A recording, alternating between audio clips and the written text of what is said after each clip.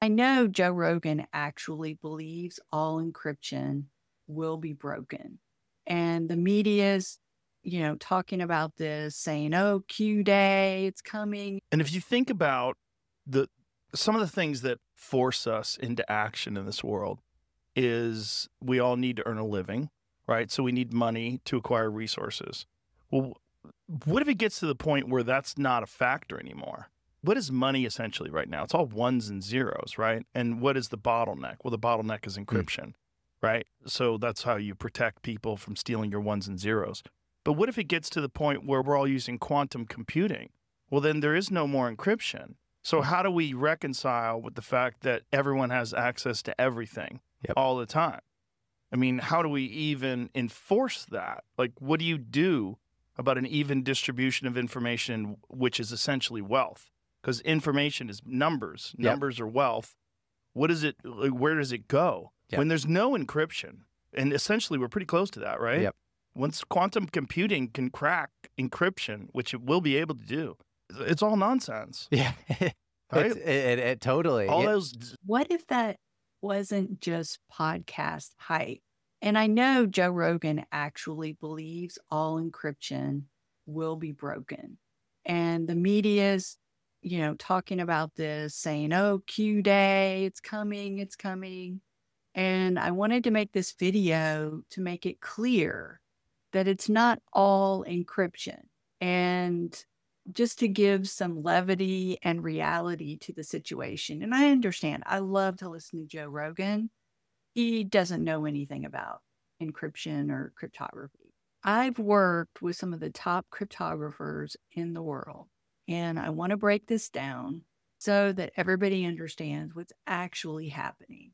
So, what if the encryption we rely on to protect our money, our identities, our businesses were already under threat?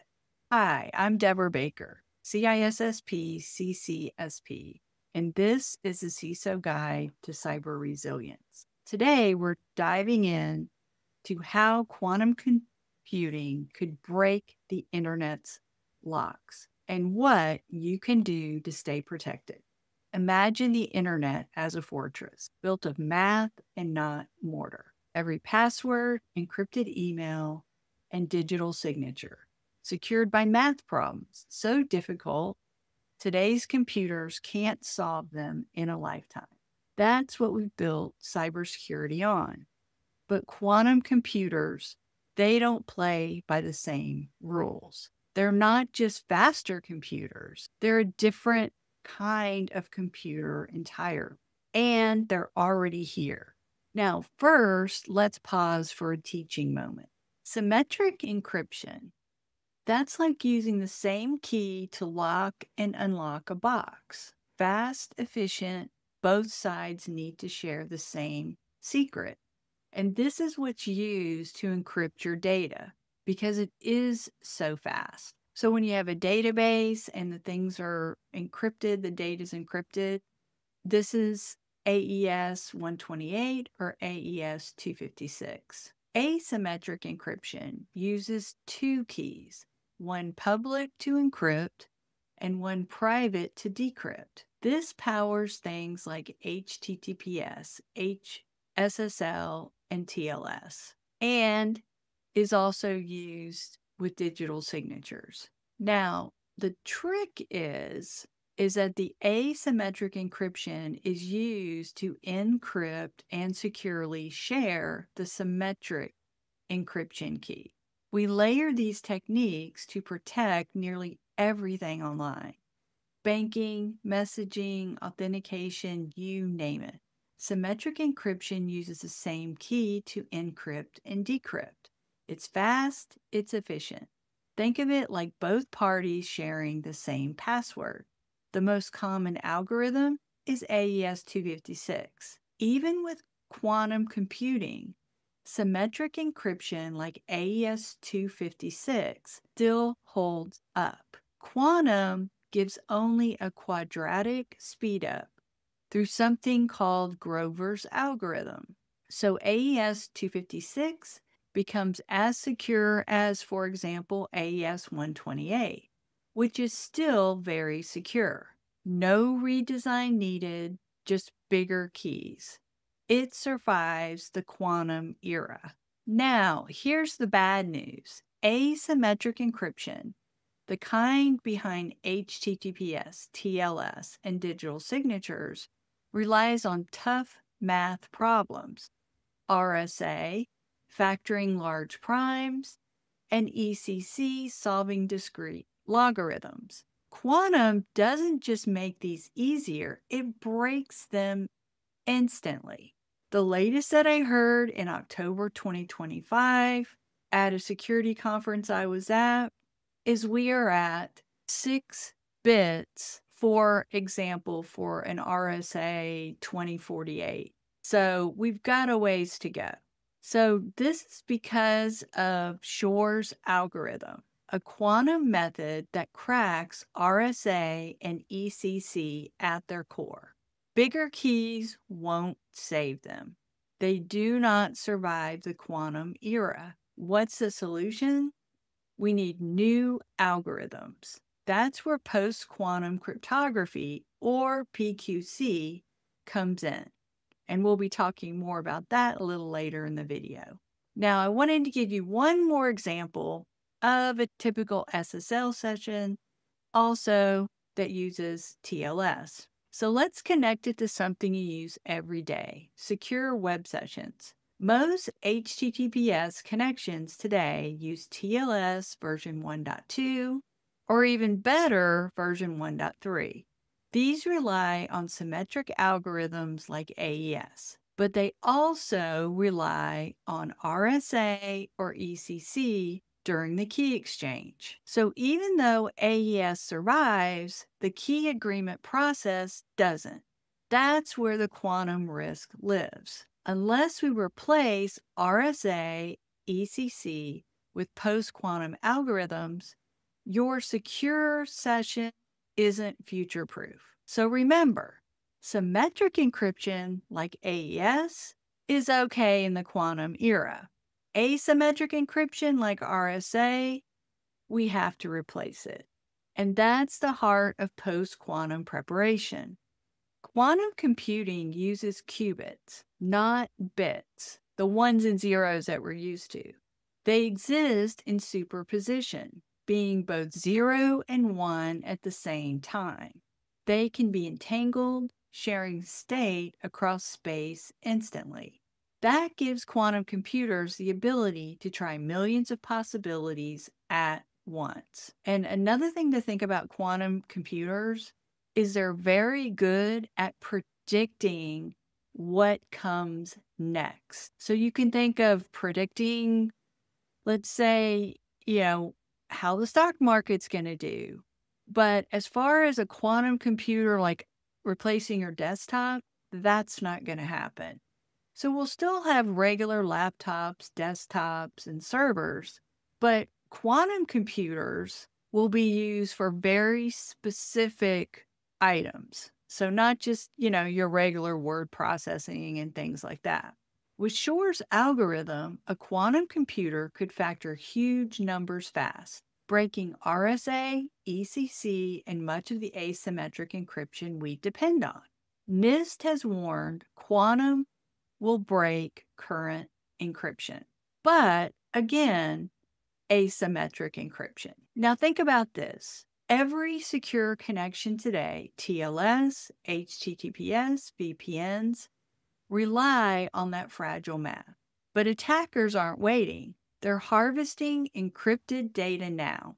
And I'd like to say it's more like nation states that can actually harvest this data now and store it so they can decrypt it later once quantum is ready. But again, the information that's stored like in your database or a file that's encrypted on your hard drive is going to be encrypted with AES, whether it's 128 or 256. And that's quantum resistant. Imagine someone copying your lock safe knowing they'll have the master key in a decade. You won't even know what happened. But as quantum computers progress, we have to use larger key sizes. Right now, AES 128 is fine. AES 256 is recommended. And we know that it's quantum resistant. And going forward, as the quantum computers get better and better, we may have to encrypt it even higher and higher. So that's where they're thinking, oh, eventually they'll be able to break AES 128. So there is good news. Two solutions are emerging, and actually more than emerging. We actually have post quantum algorithms in the OpenSSL module version 3.5 that was released in April 2025. The two options we have are quantum cryptography. This uses quantum mechanics to secure communications itself. Example quantum key distribution can detect if someone's eavesdropping. But these will be more expensive solutions. The solution is post quantum cryptography, which is also known as PQC. And these are new algorithms designed to be strong even against quantum computers. Think lattice based, hash based, and code based encryption. NIST has actually already finalized these, and they're in the OpenSSL cryptographic module available today. What should you do as a CISO, a leader in your organization? Well, for CISOs and vCISOs, start a quantum risk assessment. I would say the most important thing is to have an asset inventory and understand, you know, not only where your hardware lives, but most importantly, where your software lives and understanding what software you're using and making sure that it is meeting these and using the post quantum cryptography. So find out what encryption are you using. If you're a software development company, what OpenSSL version are you using? Where are your keys stored? And what data needs to stay secure for 5, 10, even 20 years. For individuals, no need to panic, reset every password. Of course, you need to be using multi factor authentication, but what you need to do is make sure you keep your operating system and your applications updated. Make sure that they're patched because the big companies like Microsoft and Apple, they already know about the PQC. They're already making sure that they're using the proper algorithms. And like I said, they're already available. So, another thing you can do if you're an information security leader is probably in the next two years. For one thing, you want to do is set up a, if you're in a large organization, is you want to have like a post quantum group that's going to keep up with where the quantum computers are, making sure that you're using the correct cryptographic module that has the PQC algorithms. But for just individual users, make sure you keep your computer updated and patched, and you'll be fine. The European banking sector has already been warned to prepare. U.S. government agencies are quietly shifting their encryption protocols. Will quantum computers break RSA in five years, 10, 15?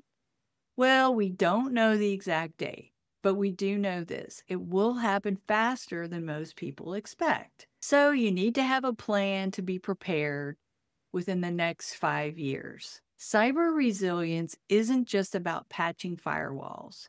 It's about anticipating change. Quantum computing is a paradigm shift. When it arrives, systems will either withstand the shock or they'll crumble. As a cybersecurity strategist, this is why I founded Trusted CISO to help companies prepare for moments exactly like this. This is your chance to build resilience before the threat materializes. So here's your to do list audit your encryption, talk to your vendors. Are they preparing? Add quantum to your compliance roadmap, plan your migration, and make sure you are updating your software and patching it. If you want help building a quantum safe strategy, Trusted CISO is ready to guide you. Let's lock down your future today. I'm Deborah Baker. Tune in to stay informed, stay protected, and stay cyber resilient. Thanks for listening. Don't forget to pick up a copy of my book, A CISO Guide to Cyber Resilience, available on Amazon. And remember to stay cyber resilient.